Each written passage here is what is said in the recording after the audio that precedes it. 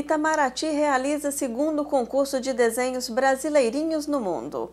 Entre os dias 1 de fevereiro e 1 de maio de 2011, o Ministério das Relações Exteriores realizará o concurso de desenhos brasileirinhos no mundo.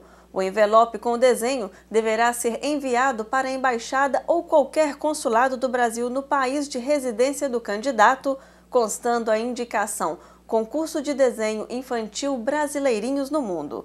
Todos os trabalhos deverão ser identificados no verso do desenho, com o nome do autor, o título do desenho e a cidade de residência.